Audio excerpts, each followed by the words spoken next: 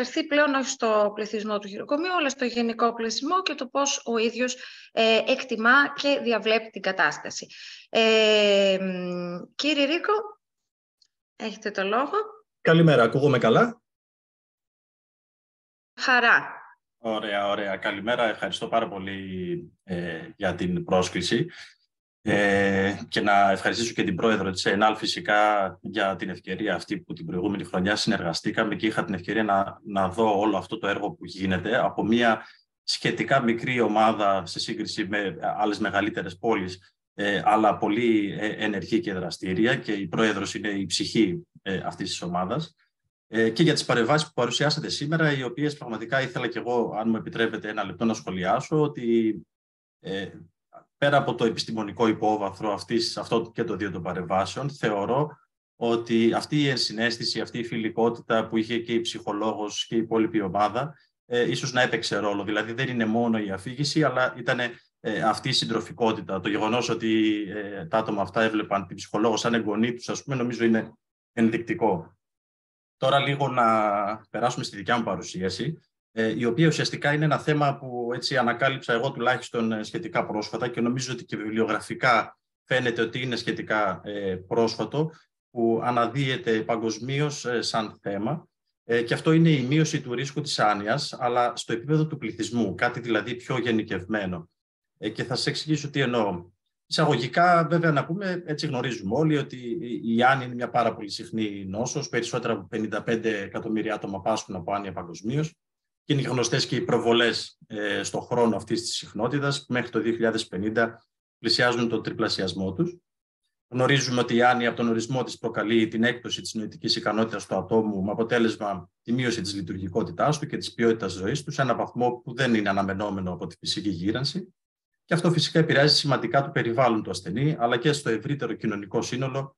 Είναι ένας από τους βασικούς παράγοντες νοσηρότητας, θνητότητας και οικονομικού κόστους.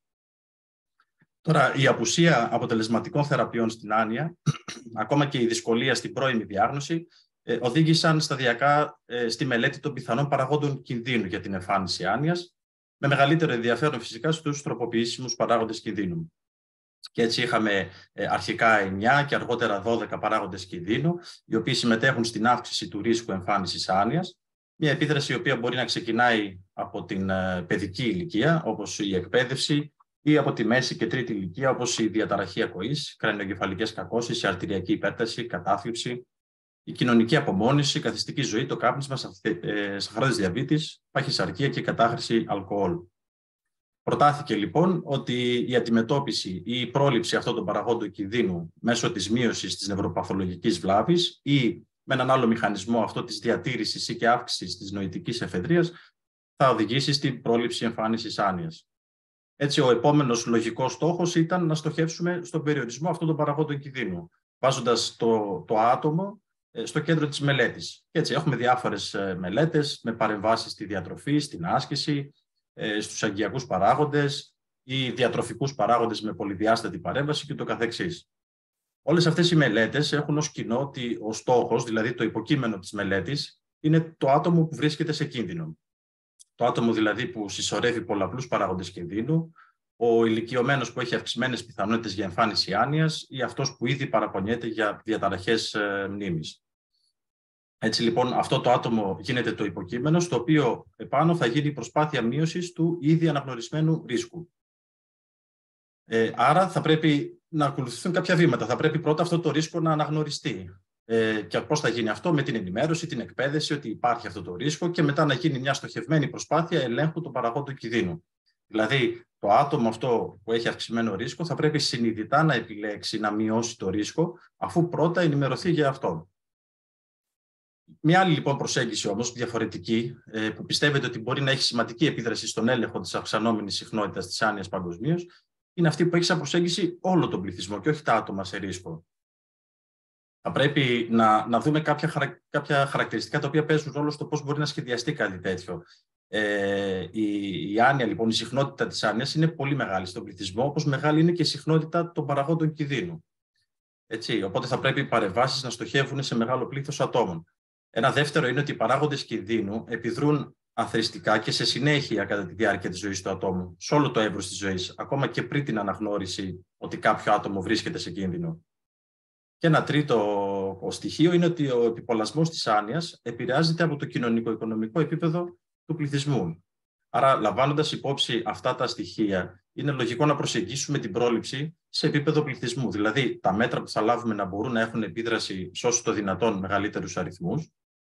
Ε, θα πρέπει ε, αυτές οι παρεμβάσεις, με δεδομένο ότι οι παράγοντες κινδύνου επιδρούν αθρηστικά και σε όλο το εύρος της ζωής, θα πρέπει να είναι και πρώιμες και γενικευμένες, ώστε να επηρεάσουν τον τρόπο που ο πληθυσμός ζει καθημερινά, εργάζεται ή παίζει από τη μικρή ηλικία. Και φυσικά, εφόσον ο επιπολασμό της άνοιας επηρεάζεται από κοινωνικό-οικονομικό επίπεδο, θα πρέπει οι παρεμβάσεις να στοχεύουν στην εξομάλυση των ανισοτήτων. Δηλαδή, να είναι προσβάσιμες από το σύνολο του πληθυσμού, χωρίς να υπάρχουν περιορισμοί είτε κοινωνικοί, οικονομικοί ή και άλλοι. Ε, μία ακόμη διαφορά ε, αυτών των διαφορετικών προσεγγίσεων, δηλαδή προσέγγιση με στόχο το άτομο σε ρίσκο ή όλο τον πληθυσμό, ε, είναι εξής. στην πρώτη περίπτωση, στην προσέγγιση των ατόμων σε ρίσκο, πρέπει, όπως είπαμε, να αναγνωριστούν αρχικά τα άτομα, κάτι που απαιτεί προσπάθεια, απαιτεί πόρους, και στη συνέχεια το άτομο να επιλέξει συνειδητά να αλλάξει τη συμπεριφορά του, να ακολουθήσει δηλαδή ένα διαφορετικό τρόπο ζωής, να περιλαμβάνει κάποια διατροφή, απώλεια βάρους, άσκηση κτλ. Στην περίπτωση όμως της προσέγγισης στον πληθυσμό, δεν απαιτείται η αναγνώριση των ατόμων, εφόσον ο στόχος είναι όλοι, και τα άτομα θα ακολουθήσουν μια αλλαγή συμπεριφοράς μη συνειδητά. Δηλαδή, κάποια στιγμή θα δουν τον εαυτό τους να αφλούνται περισσότερο ή να κοινωνικοποιούνται περισσότερο, επειδή θα υπάρχουν διαθέσιμοι και εύκολα προσβάσιμοι δωρεάν χώροι άθλησης ή κοινωνικοποίησης, ή αλλάζοντας ουσιαστικά τον τρόπο ζωής τους, χωρίς να φτάσουν στο σημείο να αποτελέσουν οι ίδιοι άτομα σε ρίσκο. Άρα, με αυτή την προσέγγιση προτείνεται η αλλαγή του στόχου από την μείωση των ατόμων με άνοια στην αύξηση των ατόμων που διατηρούν την νοητική τους ικανότητα. Και να δούμε κάποια παραδείγματα της διαφορετικής αυτής προσέγγισης ε, για τον ίδιο παράγοντα ρίσκου. Στην περίπτωση της παχυσαρκίας, ε, θα πρέπει κάπως, όπως είπαμε, αυτά τα άτομα να αναγνωριστούν. Δηλαδή, η πρωτοβάθμια φροντίδα υγείας που στη χώρα μας γνωρίζουμε ότι κάπως είναι προβληματική, θα πρέπει να αναγνωρίσει τα άτομα, να τους παρέχει συμβουλευτική και στη συνέχεια μια προσωποποιημένη παρέμβαση με πρόγραμμα άσκησης ή παραπομπή σε διατολόγο με στόχο την απώλεια βάρους. Ε, στην πληθυσμιακή προσέγγιση, εναλλακτικά, μπορεί να γίνει επένδυση σε πεζόδρομους, ποδηλατόδρομους ή σε εύκολα προσβάσιμους ποιοτικούς χώρους πρασίνου ή είσοδος της εκπαίδευσης σε θέματα διατροφής στο σχολείο ε, ή ακόμα και θέσπιση κανόνων σχετικά με την ποιότητα των τροφών που κυκλοφορούν στην αγορά. Για τον παράγοντα της αρτηριακής υπέρτασης ομοίως, μετά την αναγνώριση των ατόμων, συνήθως η φαρμακευτική παρέμβαση είναι μονόδρομος. Από την άλλη, μπορούν να θεσπιστούν κανόνες για να υπάρξει συνεργασία με τη βιομηχανία τροφίμων για τη μείωση του αλατιού στις τροφές.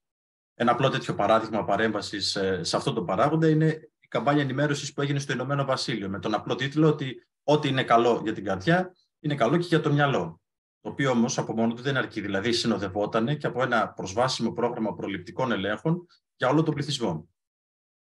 Σχετικά με το επίπεδο της εκπαίδευσης, ε, η επιλογή που έχουμε τώρα είναι πάλι συμβουλευτική και η χρήση εφαρμογών για την νοητική ενδυνάμωση. Επιπλέον όμως, μπορεί να υποστηρίζεται η διαβίου μάθηση με διάφορους τρόπους, όπως η επιδότησή της ή η υποστήριξή της στον εργασιακό χώρο. Και ένα τελευταίο παράδειγμα είναι η κοινωνική απομόνωση, όπου αντί για την προσπάθεια ενίσχυσης σε ατομικό επίπεδο, μπορεί να υιοθετηθεί ένας πιο φιλικός αστικός σχεδιασμός που να υποστηρίζει την κοινωνικοποίηση, να βελτιωθεί η πρόσβαση στο διαδίκτυο και οι συγκοινωνίες σε απομακρυσμένες περιοχές. Ένα παράδειγμα τέτοιο είναι ο οδηγός του Παγκόσμιου Οργανισμού Υγείας για τη δημιουργία πόλεων φιλικών προς τον ηλικιωμένο πληθυσμό, Δηλαδή, εδώ και αρκετά χρόνια υπάρχει αυτή η προοπτική και αν δούμε και στα περιεχόμενα του οδηγού, βλέπουμε ότι προσεγγίζονται και η άσκηση, η προσβασιμότητα, η συμμετοχικότητα και η κοινωνικοποίηση. Ή και σε έναν άλλον οδηγό ε, του ΠΟΗ, ε, περιγράφεται η ανάγκη της άσκησης, χωρίζεται σε τρεις ηλικιακές ε, ομάδες και συστήνει για κάθε ομάδα το ελάχιστο επίπεδο άσκησης. Ενώ λοιπόν αυτός ο οδηγός λέει ότι στόχος είναι αυτοί που φτιάχνουν τις πολιτικές, ε, λίγο πιο κάτω αναφέρει ότι οδηγίες για το πώς θα αναπτυχθούν παρεμβάσεις που θα προωθήσουν τη φυσική δραστηριότητα δεν αναφέρονται σε αυτόν τον οδηγό. Έτσι, οι παρεμβάσεις των κυβερνήσεων, κυρίως σε οικονομικά ασθενέστερες χώρες, ε, βασίζονται περισσότερο στην ενημέρωση, στοχεύοντας πάλι στη συνειδητή αλλαγή συμπεριφοράς του πληθυσμού, παρά στην προσβασιμότητα της άσκησης και την μη συνειδητή αλλαγή. Το ίδιο ισχύει και με τις οδηγίες του 19 του, του ΠΟΗ για την πρόληψη της άνοιας όπου αναλύονται όλοι οι τροποποιήσιμοι παράγοντες κινδύνου και τα βιβλιογραφικά δεδομένα που υποστηρίζουν ότι η μείωσή τους μπορεί να μειώσει την, ε, το ρίσκο εμφάνισης άνοιας. Αλλά στόχος, κυριότερος στόχος αυτού του οδηγού, όπως αναφέρει ο ίδιος, ε, είναι η πάροχη υγείας ε, στην πρωτοβάθμια φροντίδα, δηλαδή και ο ίδιος ο πληθυσμός. Δευτερευόντως λέει ότι και οι αρχές θα μπορούσαν ας πούμε, να τα λάβουν υπόψη τους. Ε, ένα ερώτημα τώρα που γεννάται είναι η αύξηση των χώρων άθλησης, ως παράδειγμα, ε, αυξάνει πράγματι την ποσότητα της άθλησης του πληθυσμού. Δηλαδή, βρήκαμε ότι η άθληση μπορεί να μειώσει την, το ρίσκο εμφάνισης ε, άνοιας. Ε, αλλά οι περισσότεροι χώροι άθλησης αυξάνουν την άθληση. Ε, υπάρχουν κάποιες μελέτες οι οποίες δείχνουν προς αυτή την κατεύθυνση. Ε, σε αυτή τη μελέτη από την ε, Φιλανδία φάνηκε κάτι τέτοιο. Δηλαδή βρήκαν ότι η αύξηση της απόστασης από χώρους άθλησης, όπως και η μείωση του πλήθους των διαθέσιμων χώρων άθλησης από την οικία ε, του, πληθυσμού, μείωσε την ποσότητα της μεταβολικά ισοδύναμης δραστηριότητας, της άθλησης δηλαδή, ανά εβδομάδα. Σε μία άλλη μελέτη, σε αυτήν από την Κορέα, ε, με περίπου πάνω από 200.000 συμμετέχοντες, φάνηκε ότι τα άτομα με πιο εύκολη πρόσβαση σε εγκαταστάσεις άθλησης εμπλέκονταν περισσότερο σε φυσική δραστηριότητα. Και αφού έγινε στατιστικά έλεγχος άλλων παραγόντων, γιατί είναι πολλοί παράγοντες που μπορεί να επηρεάσουν έναν άνθρωπο από το αν θα, θα αθληθεί ή όχι, λιγότερο ή περισσότερο. Ε, αντίστοιχα, υπάρχουν ενδείξεις ότι ο αστικός σχεδιασμός μπορεί όντως να βελτιώσει την ψυχική υγεία ε, και βρήκα και αυτή την πολύ πρόσφατη του Ιανουαρίου ε, συστηματική ανασκόπηση η οποία περιλαμβάνει μια ποιοτική σύνθεση 57 μελετών με θέμα τη σχέση που μπορεί να έχει ο χώρος, γενικά είτε ο χώρος που ζούμε είτε ο, ο δομημένος χώρος, ε, με τη μοναξιά. Ε, και οι συγγραφείς βέβαια συμπεραίνουν ότι αυτή η σχέση μεταξύ του δομημένου χώρου και του ατόμου είναι, είναι σύνθετη, είναι πολυεπίπεδη, ε, επηρεάζεται από παράγοντες όπως το συνολικό κοινωνικό-οικονομικό περιβάλλον, οι ατομικές εμπειρίες και οι ανάγκες που έχει το άτομο ε, παρόλα αυτά, ε, ήταν σε θέση να προτείνουν μια σειρά από παρεμβάσεις με στόχο τη μείωση της μοναξιάς σε διάφορους τομείς του αστικού και του οικιακού σχεδιασμού.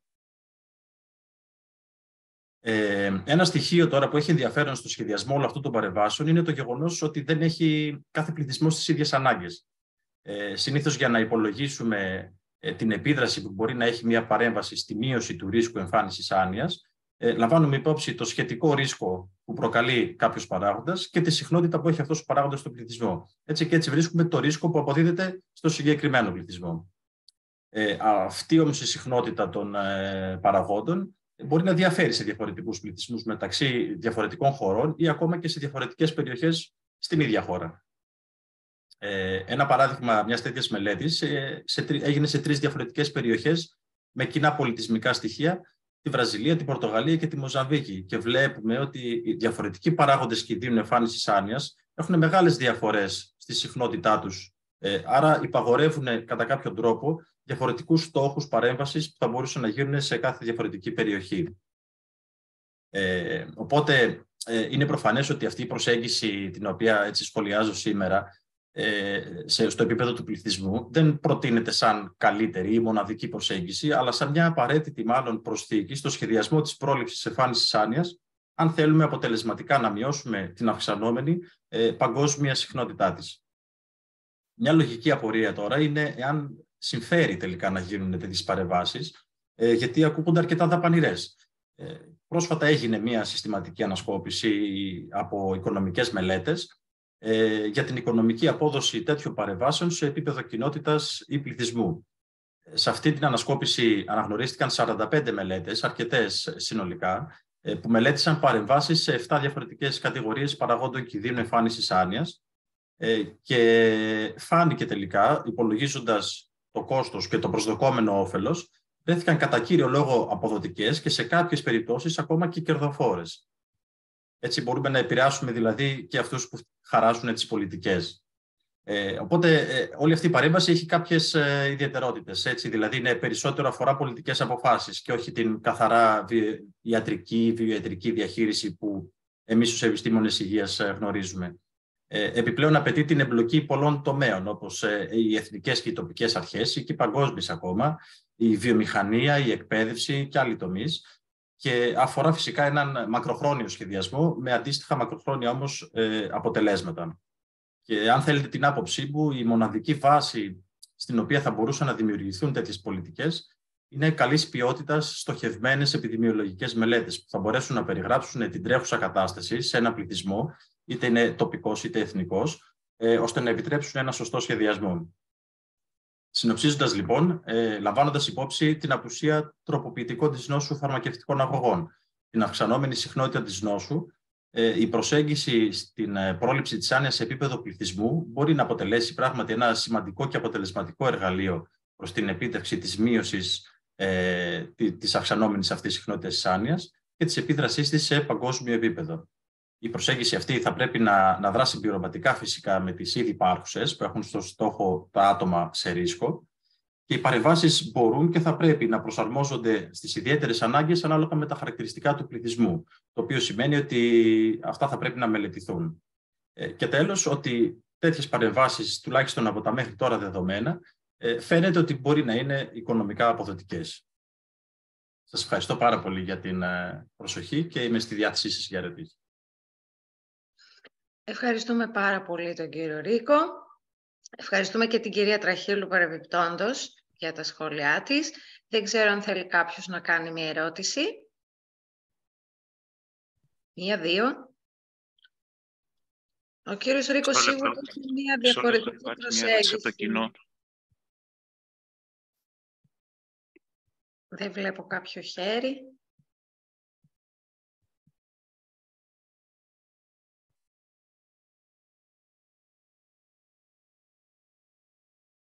Παπάς λέγουμε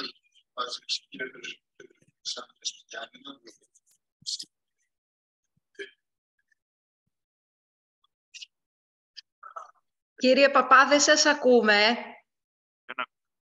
Πιο δυνατά λίγο, αν είναι εύκολο.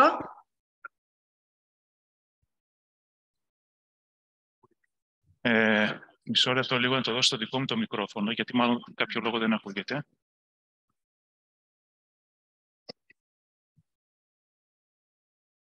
Ε, λέω λοιπόν από την αρχή, λέγομαι Βαγγέλης Παπάς, είμαι ψυχίατρος στο Κέντρο Ημέρας Άνοιας ε, της ΕΨΕΠ στα Γιάννενα και η ερώτησή μου αφορά το κατά πόσο τέτοιες ε, παρεμβάσεις στον πληθυσμό έχουμε κάποια εμπειρία στην Ελλάδα, είτε από στοχευμένα στην άνοια δηλαδή, ή γενικότερα στην υγεία.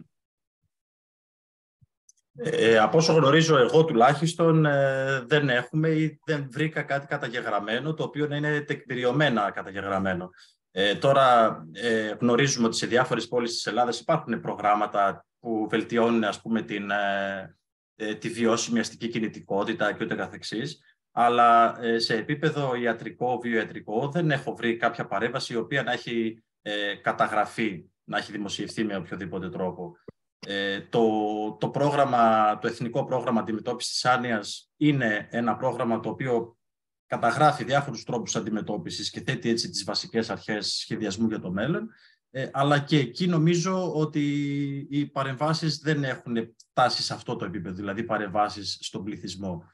Ε, οπότε δεν, δεν γνωρίζω εγώ τουλάχιστον κάτι να σας μεταφέρω. Η αλήθεια είναι ότι ο κύριος Ρίκος ε, έκανε μια παρουσίαση, συζήτηση, παύρα, παρουσίαση προβληματισμών αναφορικά με το τι συμβαίνει, τι επιπλέον θα μπορούσε να γίνει.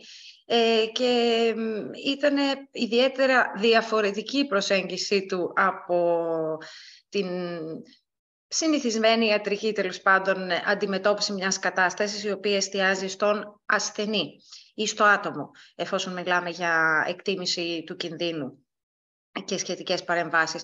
Ε, εγώ αυτό το οποίο θα ήθελα να συνοψίσω είναι ότι έκανε μια εκτενή αναφορά στις υποδομές και τουλάχιστον ως κέντρο ημέρας το οποίο λειτουργεί εθελοντικά για πάρα πολλά χρόνια, αυτό το οποίο έχουμε προσλάβει ως προβληματισμό, ε, ως αδυναμία, είναι η σοβαρή έλλειψη προσβασιμότητας σε διάφορες δομές και σε διάφορες υπηρεσίες. Ε, νομίζω ότι αυτός είναι ο κεντρικός άξονας της παρουσίαση του κυρίου Ρίκου.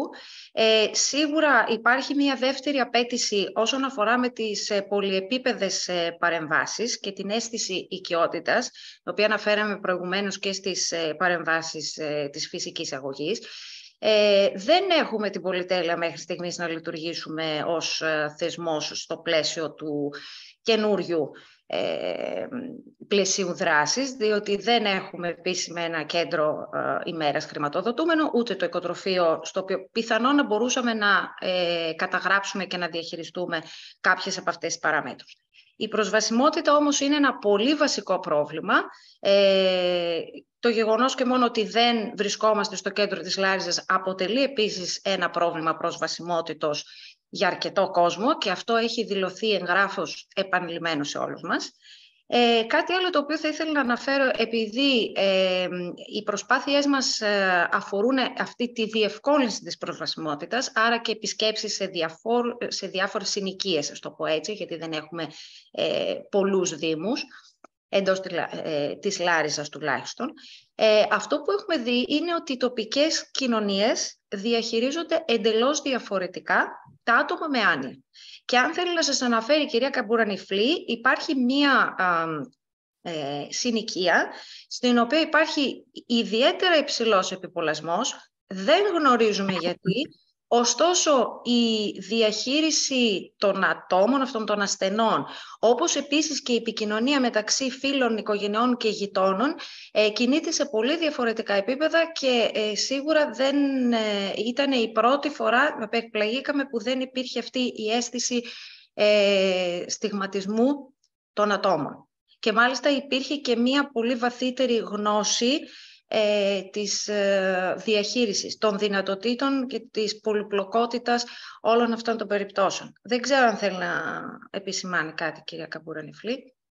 Ναι, θέλω να πω το εξής, ότι βασικά υπάρχουν συνοικίες που αγκαλιάζουν αυτά τα άτομα, δηλαδή έχουν ε, αποδεχθεί ότι πλέον δεν υπάρχει στίγμα, λοιπόν έχουν καταργήσει τα στερεότυπα και ότι πρέπει να είμαστε πολύ φιλικοί στα άτομα με άνοια και ότι θα πρέπει να συμμετέχουν όλες οι εμπλεκόμενες δομές οι οποίες έχουν σχέση με την υγεία. Λοιπόν, ε, τώρα, αυτό δεν το προβλέπει να λειτουργούμε και δεν υπάρχουν χρήματα. Εάν μας έδιναν χρήματα σε τοπικό επίπεδο, θα μπορούσε να είχε γίνει και η καταγραφή και να είχαν βελτιωθεί και όλες αυτές οι καταστάσεις όσον αφορά εγκαταστάσεις φερρυπίν για άθληση, όπως είπε ο κ.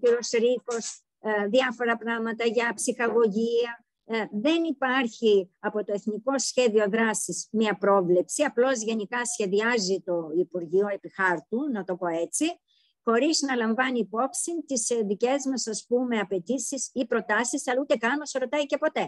Λοιπόν, ό,τι κάνουμε, το κάνουμε εμείς στην τοπική κοινωνία.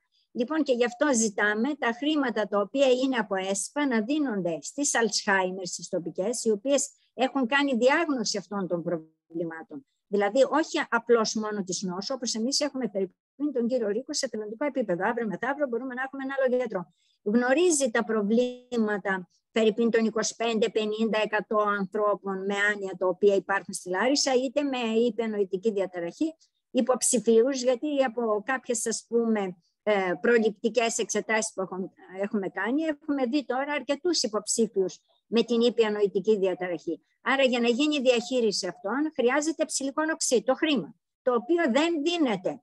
Πρέπει να δοθεί στη Alzheimer, να προσλάβει ειδικό προσωπικό και στην τοπική κοινωνία στην περιφέρεια να προτείνει όλα αυτά τα οποία λέει ο κύριος Ρίκος, τα οποία γίνονται και τα αναφέρουν οι διάφοροι συγγραφείς στα διάφορα περιοδικά και τα βλέπουμε. Στην Ελλάδα θέλει να αρχίσει η κοινωνία από κάτω, όχι από το Υπουργείο, διότι εδώ γίνεται, σχεδιάζεται κάτι από ψηλά και φυσικά οι από κάτω πρέπει να εκτελέσουν αυτά τα οποία δεν συμβαδίζουν με τις τοπικές ανάγκες. Δεν ξέρω λοιπόν αν έχω καλύψει ε, σε αυτό το θέμα.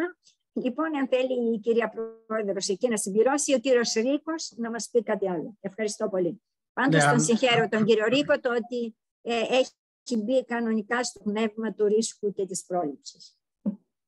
Ε, αν μου επιτρέπετε, συμφωνώ με όλα αυτά που λέει η κυρία Νεφλή και, και καλά κάνει και τα λέει. Ε, εγώ θα παραμείνω στο επιστημονικό κομμάτι, το οποίο ε, φυσικά πάντα χρειάζεται χρηματοδότηση, αλλά νομίζω ότι πρέπει να ξεκινάει τους από κάτω, αλλά το από κάτω μάλλον θα πρέπει να είναι αυτό που είπα, δηλαδή η, η καταγραφή, οι επιδημιολογικές μελέτες, οι συγχρονικές μελέτες.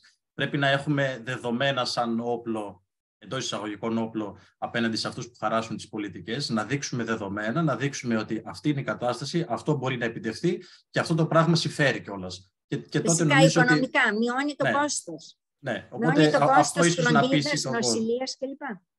Και ένα ακόμα σχόλιο που ήθελα να κάνω που το παρέλειψα από την παρουσίασή μου ήταν το, το θέμα της πανδημίας. Ε, ε, ψάχνοντας τη βιβλιογραφία για το θέμα του αστικού σχεδιασμού και πώς αυτό μπορεί να βελτιώσει την ε, κοινωνικοποίηση, την άσκηση κτλ. Μέχρι το 19 ε, υπάρχουν άρθρα τα οποία υποστηρίζουν αυτό το πράγμα. Από το 19 και μετά, σε, τώρα μιλάμε σε περιοδικά ε, πολιτικών μηχανικών, έτσι, όχι σε ιατρικά, αρχίζουν και συζητάνε ε, για το πώς θα κάνουμε τις πόλεις ώστε να είναι μεν προσβάσιμες αλλά να μην έχουμε και πολύ επαφή ο ένας με τον άλλο. Δηλαδή έβλεπα κάτι σχέδια από πάρκα που κάθεται ο ένας κοιτάζοντας προς τη μία μεριά και ο άλλος από την άλλη και, και να αλλάσετε αυτό το μοτίβο ας πούμε. Οπότε ε, γίνονται πράγματα που αλλάζουν όλο τον τρόπο με τον οποίο σκεφτόμαστε και το να σχεδιάσεις κάτι για τα επόμενα 20 χρόνια, 30 χρόνια δεν είναι τόσο απλό τελικά. Σωστά. Και υπάρχουν και οι πανδημίες ενδιάμεσα που ίσως αλλάζουν και τη φιλοσοφία προσέγγισης. Ευχαριστούμε πάρα πολύ τον κύριο Ρίκο, ευχαριστούμε όλους τους ομιλητές από την ΕΝΑΛ. Καλή ημέρα και καλή συνέχεια σε όλους. Και εμείς ευχαριστούμε πάρα πολύ την Alzheimer Ελλάς.